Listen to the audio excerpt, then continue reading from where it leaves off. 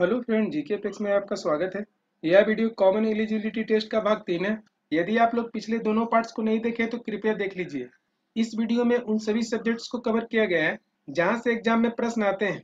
इसके अलावा प्रत्येक प्रश्न के साथ कुछ अन्य प्रश्नों को भी ज़िक्र किया गया है। इसलिए वीडियो को पूरा अंत तक ज़रूर देखिए। चलिए शुरू करते हैं आज के टॉपिक। आज का फ़र्स्ट क्वेश्चन है, लोकसभा चुनाव लड़ने के लिए न्यूनतम आयु क्या है? इसका राइट आंसर है ऑप्शन सी, पच्चीस वर्ष। लोकसभा चुनाव लड़ने के लिए न्यूनतम आयु पच्चीस वर्ष होती है। इसके अलावा विधानसभा चुनाव लड़ने के लिए भी पच्चीस वर्ष की आवश्यकता होती है। चलिए ऑप्शन के अनुसार देखते हैं कि और क्या प्रश्न बन सकते हैं। ऑप्शन ए में अठारह वर्ष, किसी भी मतदाता को वोट देने के लिए कम से कम अठारह वर्ष होना चाहिए। नेक्स्ट ऑप्शन है इक्कीस वर्ष, ग्राम पंचायत में चुनाव लड़ने के लिए इक्कीस वर्ष होनी चाहिए। नेक्स्ट है तीस वर्ष, राज्यसभा एवं विधान परिषद के चुनाव लड़ने के लिए तीस वर्ष होनी चाहिए। इसके अलावा कुछ और महत्वपूर्ण बिंदु को ध्यान में रखिए। जैसे राष्ट्रपति के चुनाव लड़ने के लिए उम्र, उपराष्ट्रपति के लिए चुनाव लड़ने की उम्र, एवं राज्यपाल के पद के लिए उम्र, इन सभी के लिए न्यूनतम आयु 35 वर्ष की आवश्यकता होती है। अतः इन सभी महत्वपूर्ण बिंदु को ध्यान में रखिए। नेक्स्ट क्वेश्चन है, सिकंदर के गुरु कौन थे? इसका राइट आंसर है ऑप्शन है अरस्तु। यहाँ पर सिकंदर के गुरु अरस्तु हैं। अरस्तु के गुरु प्लेटो थे, जबकि प्लेटो के गुरु सुकरात थे। आइए इन सभी को याद करने की कोशिश करते हैं। यहाँ पर मान लीजिए कि आप किसी दो एस के बीच खड़ा हैं। आपको यहाँ पर एस से सिकंदर का नाम शुरुआत करना है। सिकंदर के गुरु अरस्तु थे। अरस्तु के गुरु प्लेटो थे। प्लेटो के गुरु सुकरात थे। आप इसके माध्यम से आसानी से याद रख सकते हैं। कई बार इसी प्रश्न को घुमाकर पूछ सकता है। प्रश्न में रहे कि अरस्तु के शिष्य कौन थे? तो इन दोनों प्रकार से आपको इस प्रश्न को देखना है। चलिए सिकंदर से संबंधित कुछ अन्य महत्वपूर्ण बिंदु को समझते हैं। सिकंदर का जन्म तीन सौ ईसा पूर्व में हुआ था। सिकंदर के पिता का नाम फिलिप था। सिकंदर भारत पर 326 ईसा पूर्व में आक्रमण किया था, जबकि 325 ईसा पूर्व में सिकंदर भारत से स्थल मार्ग से लौट गया था। इसके बाद 323 ईसा पूर्व में सिकंदर की मृत्यु बेबीलोन में हो गई। सिकंदर का सेनापति सेल्यूकस निकेटर था, जबकि निर्याकस इसके जल सेनापति था। सिकंदर के प्रिय घोड़ा का नाम बाउ केफला था। सिकंदर का भारत में पंजाब के शासक पोरस के साथ युद्ध हुआ था। यह युद्ध झेलम नदी के किनारे हुआ था। इस युद्ध को हाइडियसपिज अथवा बितस्ता के युद्ध के नाम से भी जानते हैं। यहाँ से एक महत्वपूर्ण प्रश्न को और ध्यान में रखिए। वह प्रश्न है घनानंद से संबंधित। प्रश्न आता है कि सिकंदर के समकालिक कौन थे? आपको इसका आंसर घनानंद याद रखना है। घनानंद मगध का बहुत ही बड़ा शासक था। अतः इन सभी महत्वपूर्ण प्रश्नों को ध्यान में रखिए। नेक्स्ट क्वेश्चन है अशोक ने तृतीय बौद्ध सम्मेलन कहाँ बुलाई थी? इसका राइट आंसर है ऑप्शन सी पाटलिपुत्र। अशोक ने पाटलिपुत्र में दो सौ इक्यावन ईसा पूर्व में यह सम्मेलन बुलाई थी। कई जगह इसकी तिथि 255 ईसा पूर्व दिया हुआ है। कुल मिलाकर चार बौद्ध सम्मेलन का आयोजन हुआ था। पहला सम्मेलन राजगिरी में चार सौ ईसा पूर्व में हुआ था। यह सम्मेलन अजात शत्रु के शासन काल में हुआ था। दूसरा सम्मेलन तीन सौ ईसा पूर्व में वैशाली में हुआ था। यह सम्मेलन काला सुख के शासन काल में हुआ था, जबकि चौथा सम्मेलन कश्मीर के कुंडलवन में हुआ था। यह सम्मेलन प्रथम शताब्दी में हुआ था।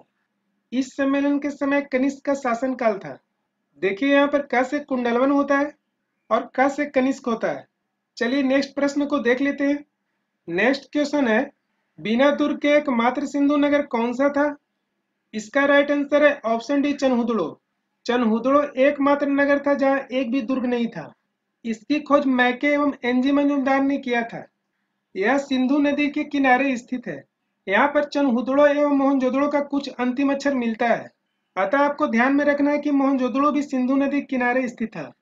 मोहनजोदड़ो की खोज राखल दास बनर्जी 1922 में किया था।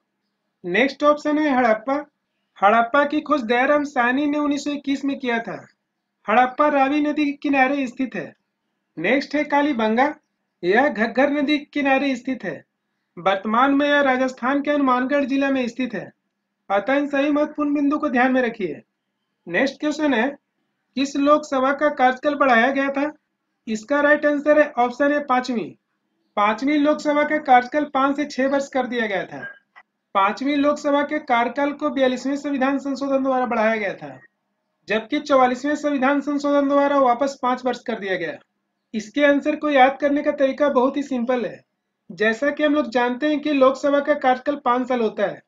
बस आपको यहाँ से जुड़कर याद रखना है। अर्थात पांचवी लोकसभा का कार्यकाल एक वर्ष बढ़ाया गया था। यहाँ से कुछ प्रश्न और बनते हैं, उसे भी समझने की कोशिश करते हैं। बयालीसवें संविधान संशोधन उन्नीस सौ छिहत्तर में हुआ था। इसे लघु संविधान के नाम से जाना जाता है। देखिए, कई बार इसके एग्ज़ाम में ईयर पूछ देता है। परंतु उन्नीस सौ में कंफ्यूजन होता है। एक सिंपल ट्रिक के माध्यम से इसे याद कर सकते हैं। यहाँ पर फोर और टू को ऐड करेंगे तो सिक्स प्राप्त होगा। यहाँ पर इसके ईयर में अंतिम यूनिट सिक्स है। इस प्रकार आप जोड़ के याद रख सकते हैं। ठीक इसी प्रकार फोर प्लस फोर एट होता है। इसके ईयर का अंतिम यूनिट एट है। इस प्रकार आप आसानी से इसे भी जोड़कर याद रख सकते हैं। यदि आप इस विधि से याद करेंगे तो कभी कंफ्यूजन नहीं होगा। नेक्स्ट क्वेश्चन है, उबेर कप का संबंध किस खेल से है? इसका राइट आंसर है ऑप्शन बी बैडमिंटन उबेर खेल का संबंध बैडमिंटन से है। मुख्य रूप से इस खेल में महिला भाग लेती है। आइए इसके अलावा भी कुछ अन्य का नाम याद रखते हैं। जैसे Sudirman cup, Thomas cup, Narang cup Chadha cup, Rahmatullah cup एवं अमृत दीवान कप।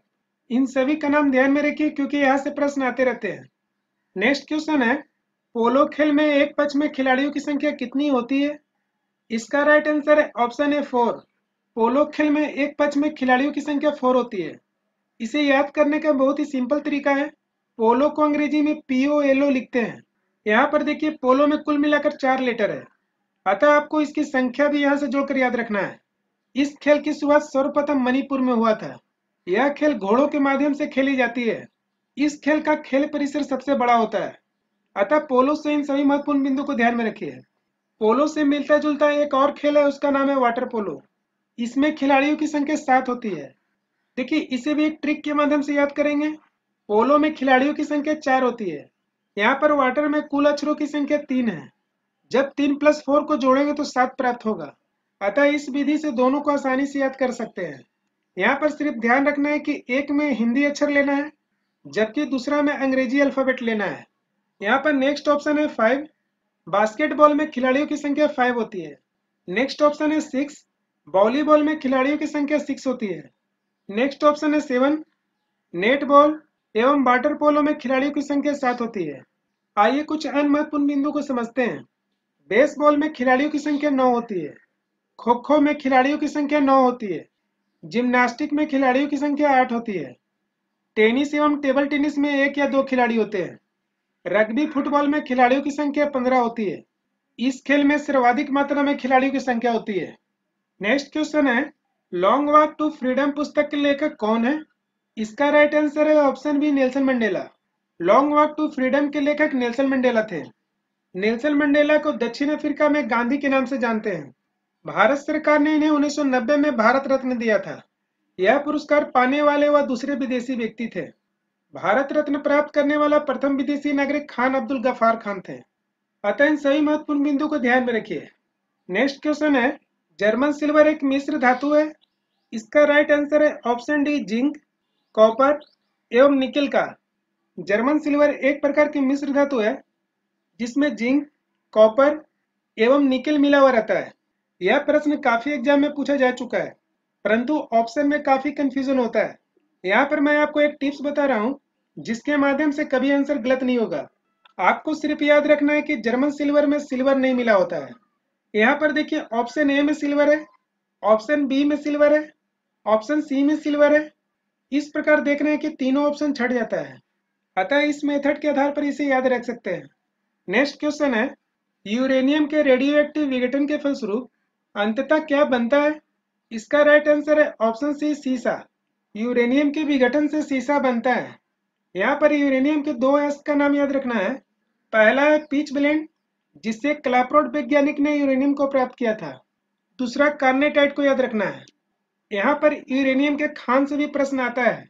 इसका नाम आपको याद रखना है जादू घोड़ा। चलिए नेक्स्ट प्रश्न को देखते हैं। नेक्स्ट क्वेश्चन है, भारत का पहला इंजीनियरिंग कॉलेज कहाँ स्थित है? इसका राइट आंसर है ऑप्शन डी रुड़की। यह उत्तराखंड में स्थित है।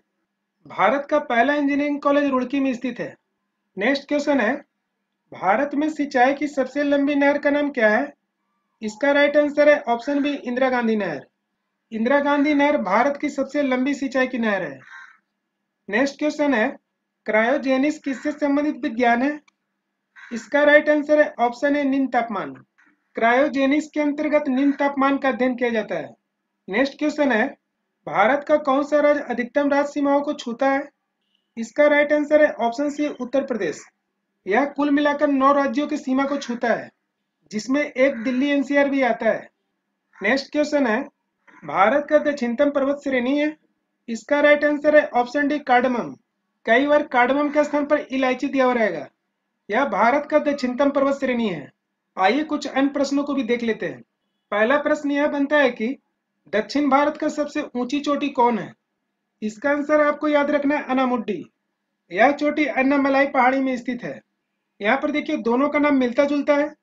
यहाँ पर दोनों के नाम में अन्ना छुपा हुआ है। दूसरा प्रश्न आता है कि दक्षिण भारत की दूसरी ऊँची चोटी कौन है? वह चोटी है दोडा बेटा। यह चोटी नीलगिरी पर्वत में स्थित है। अतः इन सभी प्रश्नों को ध्यान में रखिए। नेक्स्ट क्वेश्चन है, वर्तमान में अंतरराष्ट्रीय मुद्रा कोष के सदस्यों की संख्या कितनी है?